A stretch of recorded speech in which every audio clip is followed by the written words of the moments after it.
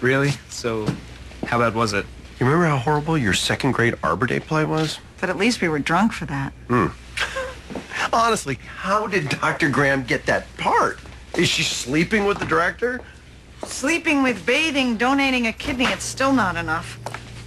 I just hope that I can erase this from my memory before our next session.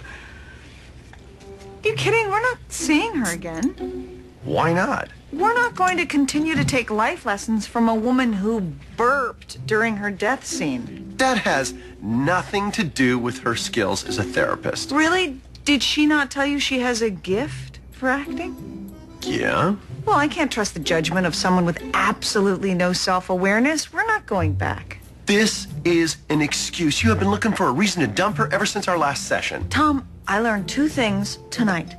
Dr. Graham has no insight into real human behavior, and there are 428 tiles on the ceiling of that theater. Say what you want.